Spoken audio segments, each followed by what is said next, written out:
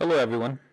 In this video, we will be looking at the AWS Certified Cloud Practitioner official practice questions and we'll solve them and find the answers. My name is Saurav and I am six times AWS certified. You can find me on GitHub and also on Twitter. Now let's get started with the questions and answers. So before we look into the actual sample questions, I want to show you where to get those sample questions. So if you go to this page, um, if you type this address on your browser, then you will get to the AWS Certified Cloud Practitioner um, certification page. And here you can see things like, uh, you know, the recommended knowledge to take the exam, how to prepare for the exam, exam overview, etc. information. But also you get the uh, exam guide and the sample questions. So once you go to this page, click on download the sample questions to get to the sample questions. Here I have the sample exam questions for the AWS Certified Cloud Practitioner exam. Alright, so let's look at number one. Why is AWS more economical than traditional data centers for applications with varying compute workloads? So there's two parts of this question that I want to highlight. One of them is economical. Why is AWS more economical? And the second part is for applications with varying compute workloads. So two parts to focus on. Let's look at option A. Amazon EC2 costs are billed on a monthly basis. That's not right. Amazon EC2 costs are billed on uh, either per second or per hour basis. So we can cross out option A. Let's look at option B. Customers retain full administrative access to their Amazon EC2 instances. Yeah, so this is unrelated to, you know, economical problem and compute workloads. This is about access. So B also, you know, doesn't look like the right answer. Let's look at option C. Amazon EC2 instances can be launched on demand when needed. That means if I have a varying compute workload, I can launch an EC2 on demand. I don't have to reserve or pay for a month. You know, I can just use an EC2 for two hours and uh, you know shut down the EC2, or for two minutes and shut down the EC2. But you know, I can do this on demand so that I don't have to uh, spend up uh, capital, you know, upfront capital buying servers. So C looks like the right answer to me, and let's quickly look at option D. In option D, customers can permanently run enough instances to handle peak workloads. Now, this sounds like a bad uh, practice. You don't want to permanently run enough instances to handle the peak, right? Because you know you're wasting a lot of resources. So D is not the right answer. And once again, option C is the right answer. All right, now let's look at number two. Which AWS service would simplify migration of a database to AWS? Option A is AWS Storage Gateway. Option B is AWS Database Migration Service. Option C is uh, Amazon EC2. Option D is Amazon AppStream 2. Now, option A, Storage Gateway is a storage service for hybrid environment. Uh, if you have a hybrid environment uh, consisting of AWS and your data center, then Storage Gateway makes it easy to access and store files uh, and move between those hybrid environments. Uh, so it's not the right answer. Option B, AWS Database Migration Service. This is the right answer. Not because it contains the word Database Migration Service, but if we go to the database migration service page, this is a real service and uh, database migration service helps you migrate databases to AWS quickly and securely. So this service will would simplify your database migration to AWS. And that's why the answer is B. Um, and obviously, you know, EC2 um, is, is not the best option, and AppStream is for streaming applications through a browser. So um, option B is the right answer. Let's look at question number three. Which AWS offering enables customers to find, buy, and immediately start using software solutions in their AWS environment? Now, the keyword in this question is AWS offering enabling customers to find, buy, and immediately start using software solutions in their AWS environment. Now let's look at the options. A. AWS config. Uh, AWS config is a service used to keep snapshots of configurations of your you know S3 buckets and EC2 etc. So this is not the right answer. Uh, option B AWS OpsWorks is used for configuration management of your EC2 instances. Option C AWS SDK so SDK is software development kit. Uh, using AWS SDK, you can talk with AWS services. You know, this is not the service that lets you buy, uh, find and buy services, softwares, and deploy them. Now, option D, AWS Marketplace, just like the name says, is a, a service that AWS provides where companies can sell and people can buy, you know, software solutions and many other things and deploy them and use them. So this is the address for the AWS Marketplace. You can find, buy, and deploy things. You can choose between uh, you know many things like uh, firewalls, VPN services, uh, sometimes even AMIs. Let's say for migration, if I wanted to search any results, then you know Splunk Enterprise, right? Uh, a lot of companies uh, that we that you've been using are on the marketplace already. So if, if you wanted to search for something like firewall, then you get a bunch of firewall options by companies like Cisco and Trend Micro, etc. So you get the idea, right? Marketplace is a way where you can go find and buy uh, software solutions and other solutions on AWS, and you can use um, that solution to deploy things quicker, faster, and better on your AWS environment. So option D was the right answer for number three. Let's move on to number four. Which AWS networking service enables a company to create a virtual network within AWS? So you know, this is one of the fundamental things that you need to uh, know while working with AWS and um, the service that lets you build network is Amazon Virtual Private Cloud or Amazon VPC. So I don't think we need to discuss this um, this option because this is the networking uh, service of AWS. Let's move on to number five. Which of the following is AWS's responsibility under the AWS shared responsibility model? Before we move on to the options, let's look at what AWS shared responsibility model is. So I'm in this page. You can browse by typing this on your browser.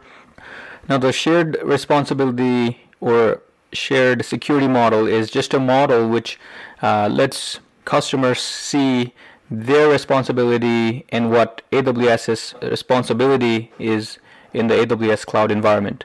So look at this uh, picture, then you can see that AWS is responsible for taking care of, uh, you know, setting up the data centers, the regions, edge locations, hardware, uh, all the wiring of the, all the networking, uh, you know, all the security, uh, physical security um, stuff, while the customer is um, responsible for things like encrypting their data, uh, installing uh, antivirus, performing uh, patches, you know, and um, management, identity and access management, and so on. So uh, you can read through this shared uh, responsibility model. Uh, I think this is a very important concept to understand for the exam. Um, please visit this link to read more about the shared responsibility model. So that was a quick recap of AWS shared responsibility model. So let's look at the full question once again, which of the following is AWS's uh, responsibility under the AWS shared responsibility model? Option A, configuring third-party applications. That doesn't look like uh, AWS's responsibility.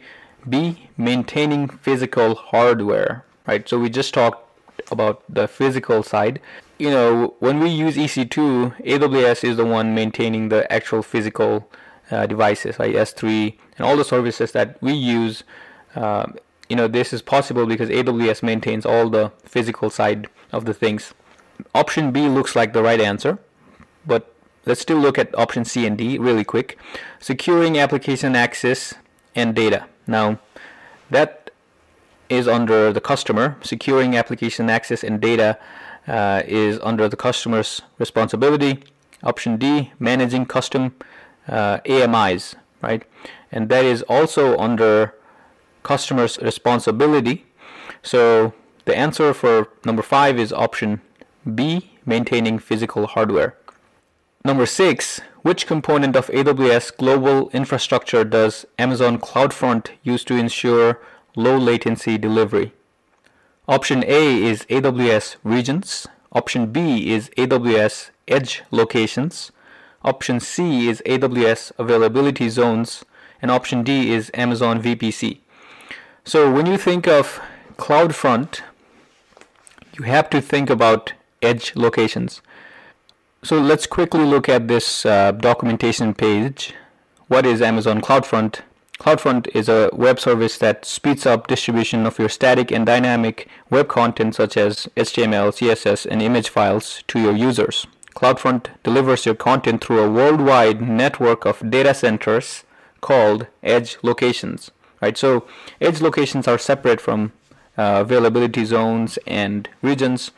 Um, so these are only related to CloudFront. So these are tiny data centers compared to you know availability zones, uh, but these are spread out across the world in many many places so that data is uh, accessed by local customers faster and with a better performance. I'll be putting the link for this page in the description for the video below, so check you can check it out over there. So going back to number six, the answer for this is AWS edge locations, right? Which component of AWS global infrastructure does CloudFront use to ensure low latency delivery? And it, it is edge locations. So let's move on to number seven. How would a system administrator add an additional layer of login security to a user's AWS management console? So you might have used this if not in AWS, with other services like Gmail or some banking softwares, right? When you log in to your account, in addition to your password, you also have to supply like a token or a you know a, a PIN number that is sent to you or is available uh, on an app. And if you look at the options, uh, use AWS Cloud Directory. This doesn't tell us anything about layer of security. Uh, option B, audit AWS IAM roles. Yeah, this doesn't help in adding any security. Uh, option C, enable multi-factor authentication. Now this is what we talked about. This will definitely add an extra layer of security immediately after you uh, apply this. So option C is the right answer. And option D was AWS CloudTrail. Right? This is uh, not used to add uh, security. So once again, option C is the right answer. Let's move on to number eight. Which service can identify the user that made the API call when an Amazon Elastic Compute Cloud instance is terminated? So I am a manager in a company and one of my employees terminate their EC2 instances or terminate an EC2 instance by mistake. When I try to find out but just by asking them you know no one answers right? Everything everyone is silent. So there is a way I can find exactly who did that and let's do a quick demo on that alright so I'm here in my AWS management console and I'm gonna type in here CloudTrail right?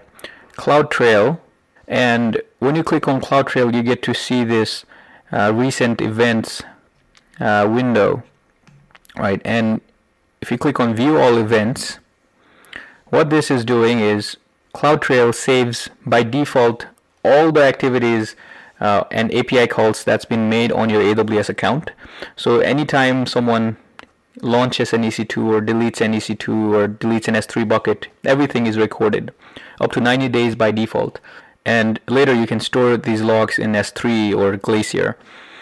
So let's say that, you know, I want to find that person who terminated my EC2 instance. So I'm going to go to the filter and I'm going to filter by event name, right? And I'm going to type in terminate and terminated instances. So if I do this, then I can see that the user, you know, this user terminated an EC2 instance, right? So root is fine because root is me, but then at one point, this username with the name of Kiran, he terminated my EC2 instance. Usually, you know, root is the only one doing it. So I know this is my employee that I want to talk to now, right?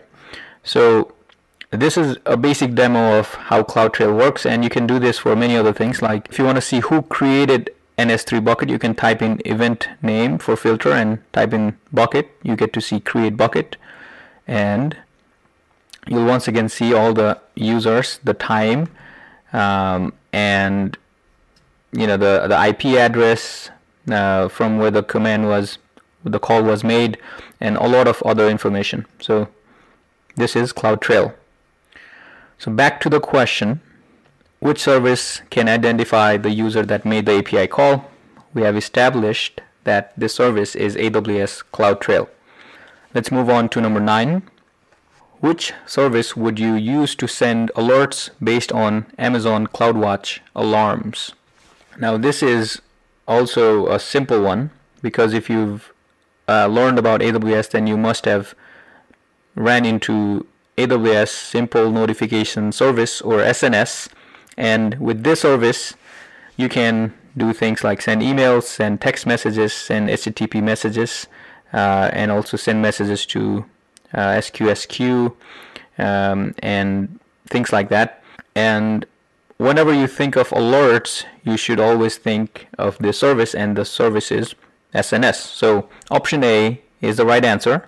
So let's move on to number 10. Where can a customer find information about prohibited actions on AWS infrastructure? So option A, AWS Trusted Advisor. Trusted Advisor, uh, you know, guides you on things like security, uh, performance, cost optimization. Trusted Advisor is based off of the well architected framework, right? The five pillars of the well architected framework, and it guides you to you know reduce cost and things like that. So that's not the place you look for uh, what the question is asking. Option B, Identity and Access Management (IAM), and this is also not the place to find uh, about prohibited actions. Option C, billing console, you know, billing console is used for budgets and bill and, you know, looking at cost, things like that. Now, option D, AWS acceptable use policy. Now, just as the name says, acceptable use policy. So this is where you go to find what you can and can't do uh, on the AWS platform. And let's quickly try to go to the AWS acceptable use policy. And if you browse to this link, then you get to see the acceptable use policy.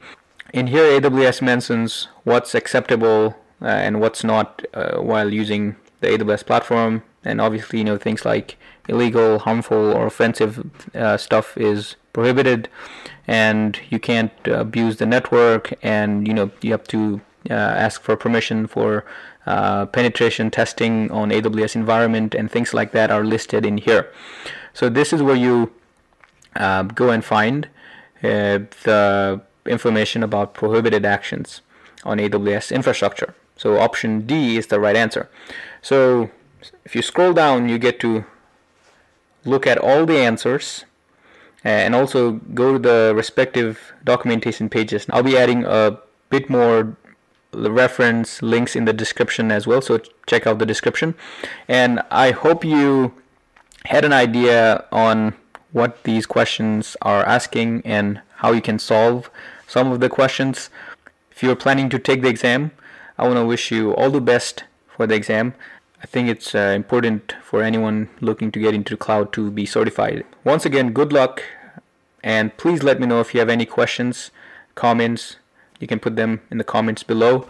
If you like our content, then you know we have a lot more videos on YouTube and we also have some Udemy courses on various things like the AWS CLI, Lambda and KMS so we'll put them in the description please check them out Thanks once again.